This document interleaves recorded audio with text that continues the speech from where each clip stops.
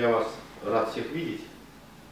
Э, И я благодарен вам за вашу гражданскую позицию. Ваше неравнодушие, оно позволяет именно обращать внимание на те вопросы, которые беспокоят сегодня граждан города Кингисеппа и Кингисеппского района. За это я вам признательно благодарен. Ну и следующее. Э, Я выполняю свои обещания. Вы помните, что я вам обещал, что по итогам полностью вот этой работы по железнодорожному переходу, исторически сложившемуся, который сейчас не работает, и по которому возникла проблема, и вы обратились ко мне, и через средства массовой информации, напрямую, поэтому я сегодня и пригласил средства массовой информации, что мы сегодня я не скажу, что это уже окончательная точка, но в определенном этапе это уже точка, и почему я вам это объясню. Ну, первое, мы все изучили, и все материалы, которыми мы располагали, э, провели полностью работу с железной дорогой, и в результате этого у нас э, появился документ за моей подписью, и мы направили его в управление Октябрьской железной дороги. Ответ мы получали очень долго, могу сказать. И э, до конца еще не выяснили почему, но долго. Ответ в целом э, значит, заключается в том, что, мол, якобы они не видят возможности, с частью, так сказать, наших возражений они согласны, э, но все-таки на сегодняшний день они не видят возможности вот, сделать этот пешеходный переход.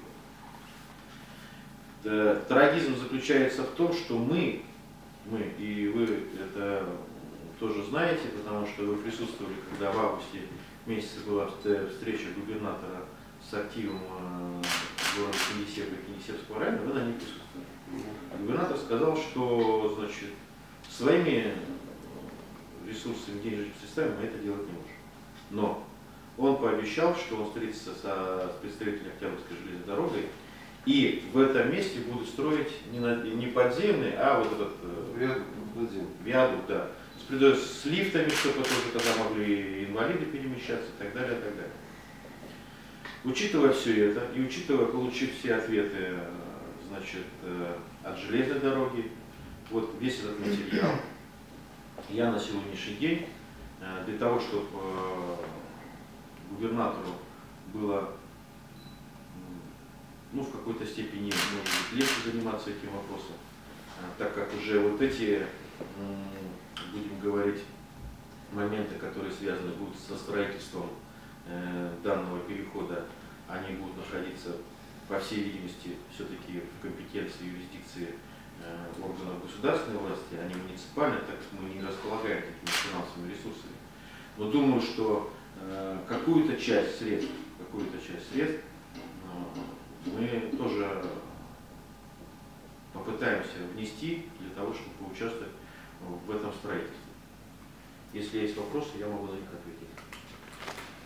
Ну, вопросов как таковых на данный момент у нас не имеется. Мы с вами мы также получали те же письма, те же ответы с РЖД. Как бы тянулось время, то есть вот буквально уже скоро будет год, как мы воюем все-таки. Вот с этой частью. Единственный адекватный, да, то есть ответ мы получили только от представителя по правам человека по Ленинградской области, Шабанова Сергея Сергеевича, да. То есть действительно человек видно, был на месте, то есть он разбирался с этим вопросом. Письмо получено, копию могу тоже предоставить. Это очень хорошо. Писали, значит, в прокуратуру, обращались в транспортную, значит, транспортная прокуратура нам ответила, что РЖД в действительности все сделала правильно, все сделала хорошо. Есть у меня еще копия, э, ну это Виктор Эвлевич нам писал, то есть тут с установкой биотуалета, я не знаю, зачем он там. Следующее, что я хотел поинтересоваться, вы же там все-таки передвигаетесь, он дооборудовано, э, я вот собираюсь еще раз сходить посмотреть, дооборудовано, вот, э, значит, установлено знак пешеходного перехода, вот в той зоне, где сделано там. Нет, ну что вы имеете в виду? То есть где с улицы... Ну, помните, когда мы на- выходили тоже с вами на, на место и вот э, проходили, где, где, где сделан пешеходный переход? Вот в том месте, там, значит, с одной стороны... Ничего не сделал. Не с одной До сих пор, то есть мы Ну, передвигаем, до сих пор. То есть у нас А получается вот этот пешеходный переход и знак, знак установили, не установили? Нет. на э, дороге, на, на проезжей части. Да, ну, на понимаешь, автомобиле. вот- Вот как я вам веду, где вот построен непосредственно вот Нет, этот пешеходный ничего не сделано. То есть мы вот уже год, мы под машинами, если у нас был риск под, под- Значит, тогда, Сергей Анатольевич, надо будет тогда вот по когда это нашего сейчас совещания, нашей встречи, подготовьте, пожалуйста, письмо на Виктора Ивановича, и мы тогда вот это и указать, что до сегодняшнего дня, исходя вот из э, сложной ситуации, вот это недо, недооборудован действующий пешеходный Если есть возможность, я, правда, общался с Сергеем Смирновым, да, то есть сделать такой же пешеходный переход, или, по крайней мере, положить лежащих полицейских на выходе с улицы Дороги через улицу Таможенную, потому что там... Тогда давайте так сделаем, извините, что я вас перебиваю, вот эти вот ваши предложения так сформулируйте, и тогда мы в нашем письме ну, Который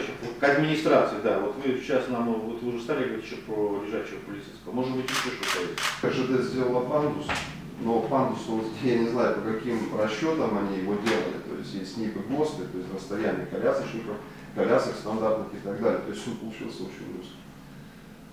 Он сделал, то есть на перрон сейчас, допустим, с коляской или с, там, с велосипедом детским, просто не Ну вот видите, у нас получается лежачий полицейский раз. Ну то есть первое, значит, пешеходный переход не оборудован э, знаком дорожного. Пешеходного перехода до сегодняшнего нет. Значит, полиц- же- лежачий полицейский нужен. Плюс еще, значит, с пандусом проблемы, да, что там как-то вот. Ну тогда вот надо это все, нам тогда составить. Тротуарная грязь, то есть, ну, как бы, ну, мы, как, вот мы об этом уже кричим на протяжении этих, да, полутора лет, как они закрыли, то есть, этот переход, но мы об этом уже кричим. Нас просто вот никто не слышит. То есть мы объясняем, что мы везде в письмах, мы просто объясняем, что мы не просим золота, мы не просим чего-то дорогого. Просто нормальное человеческое, удобное передвижение и ничего больше не хотим. Если бы первоначально в 2012 году Шай Татьяна Германовна сделала к нам шаг навстречу, как полагается по-человечески, то есть придя не визуально, осмотрела бы место, да, то есть нет, не просто как-то посмотрели, РЖД сказала, что человек, давайте будет здесь.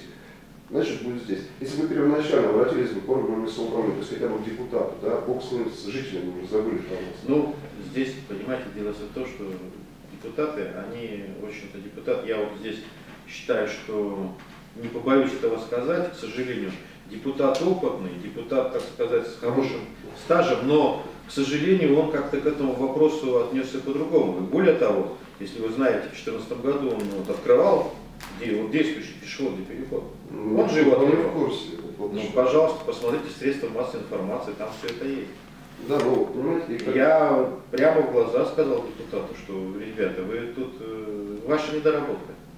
Наша недоработка, я согласен то, что вы говорите с, со специалистами э, муниципалитета, которые участвовали в оформлении документов, и я принес свои извинения. Я удивился, почему такой опытный депутат, вот такую...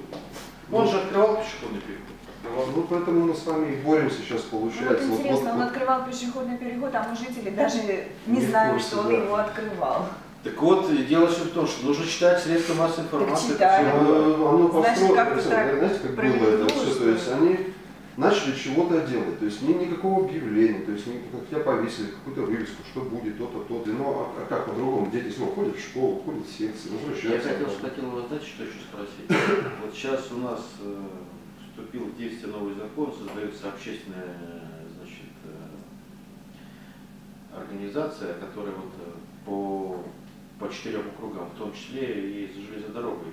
Я знаю, что местное самоуправление, так сказать, общественное самоуправление. Территориальные общественные советы. Да, территориальные общественные советы. Вы входите в территориальные общественные советы? Староста, имеете? Нет, староста это, это Ну. другая история. А это вот для- староста это на селе.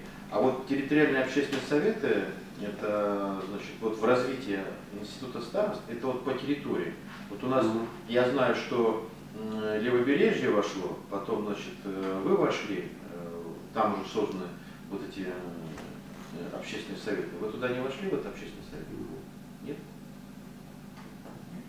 Надо нам туда вас отправить. Да, по поводу вот этой части подписания, да, то есть человек пришел на место, человек визуально увидел, человек не рассчитал, что нужно будет необходимо, то есть около двух миллионов на, тротуар, да, то есть необходимо будет опять же вопрос с пешеходными переходами решать, пандусы, то есть, понимаете, ну, я, я не знаю, как по человеческим меркам, по законным меркам это назвать, да, то есть, ну, халатное отношение к работе, грубо говоря. То есть 2000 человек остались не в удел, вообще как бы, ну, строили для нас, РЖД до сих пор прислал мне письмо, где написано, мы не понимаем, Максим Юрьевич, почему вы не хотите пользоваться новым переходом. То есть им буквально никто даже не объяснял, что, господа, ваша стези это железка. Вот, вот смотрите, сейчас я вам хочу сказать, э, ну, и, кстати, пользуясь случаем, что и пресса здесь присутствует, э, значит, у нас очень большая сложная тоже социальная проблема в городе Кингисеппе, Кингисеппским округом. На сегодняшний день, э, благодаря усилиям администрации Кингисеппского района, значит, сделан проект, сделано заключение, все прочее, прочее, но по определенным моментам, и губернатор, кстати, на этой же встрече, вы это слышали, он сказал, что мы не сможем включить этот объект э, в 16 год. Но мы все-таки решили еще раз поставить вопрос перед губернатором, совместно администрация Кингисеппского района, совет депутатов э, городского поселения и наш депутат в законодательном собрании Варновских э, Дмитрий Анатольевич, э, вот, так сказать, совместными усилиями мы подготовили все документы, соответствующие обращения. Все депутаты все 22 округа, все депутаты Кингисеппского городского поселения, в том числе я, поставили свои подписи, и эти документы мы туда отправили. Что мы сейчас, почему я сейчас это делаю? Отправляю это губернатору. То есть это первый шаг, это мы все отправляем, а потом уже будем убеждать губернатора, чтобы он э, изыскал возможность включения вот этот проект, вот строительства этого пешеходного перехода как можно раньше. Потому что, э, ну что говорить, все равно вы там ходите, все равно там через это все лазите, и я, к сожалению, очень переживаю за всех, не дай бог что-то случится. Поэтому вот э, по моргу мы надеемся, что мы все-таки добьемся и строительство начнется в 2016 году. Вот. Сейчас мы это отдаем по переходу, и следующим этапом уже будем э, работать и думать о том, как нам э, быстрее начать решать эту проблему со строительством. Согласен.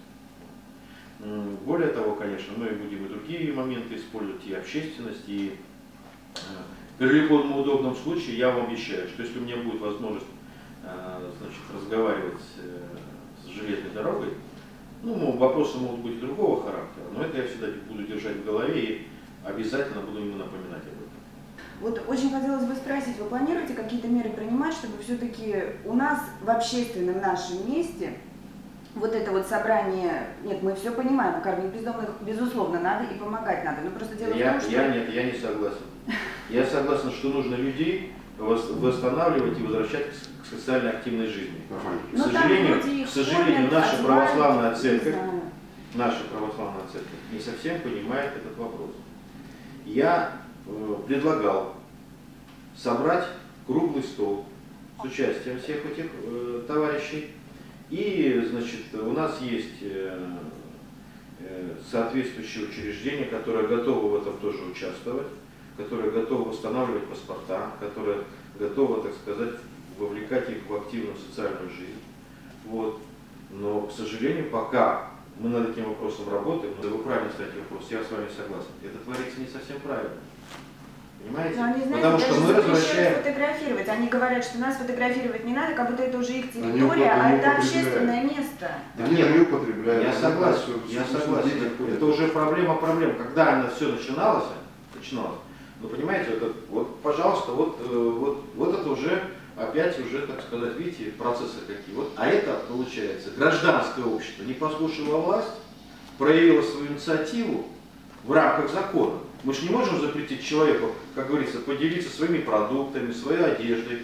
Это гражданская позиция, это, так сказать, э, э, да, добрые дела. И вот да. эти добрые дела, когда вы говорили, я вас не перебивал, вот эти добрые дела сегодня привели вот к этой проблеме. Я предлагал собраться, обсудить, но объяснить этим людям, что они будут кушать и будут одеты не потому, что вот у них эта вот ситуация, а потому что они должны возвращаться к активной социальной жизни. Им нужно восстанавливать паспорта, они должны получать профессию и возвращаться в нормальную жизнь. Да, согласен, в России правильно говорят, от суммы от тюрьмы не зарекайся. Человек в беде. Мы должны ему помогать вернуться опять в активную жизнь. а не творить вот этих э, людей, которые сегодня у нас получают из общественных и различных фондов э, благотворительные вещи и паразитируют на этом. Все. А насколько законно то, что они в общественном месте это все делают, где мы все мимо ходим? То есть это запахи еды, опять же. Это все, они Ну. раздеваются, одеваются на улице. То есть на наших глазах, Не там автобусная остановка рядом. Там автобусная остановка рядом, проход рядом. Ну, как бы нам это не очень приятно, все эти запахи, от них запахи, от еды запахи, все эти их раздевания, переодевания. Они тут же на улице готовят. Там разливайка вот это вот, стол, Вы по этому поводу стоят. никуда не обращались? К депутату к нашему сколько раз подходили, но он... Кому, какому? Федору, Федору? да. Что он говорит? Говорит, что ничего сделать не может.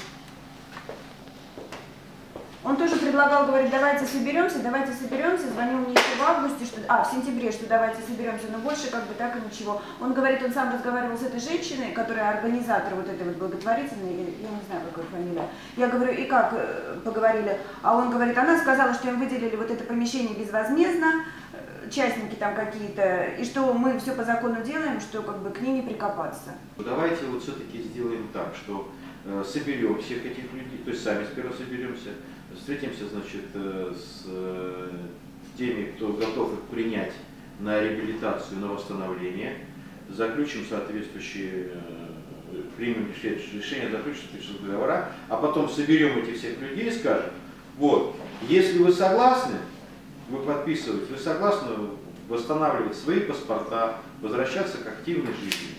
Тогда мы это дело помогаем. Вот понимаете, тут опять мы возвращаемся. Я рожден в Советском Союзе, сделан я в СССР. Понимаете? Вот эти вот раньше были специальные э, заведения, не работает человек, туда.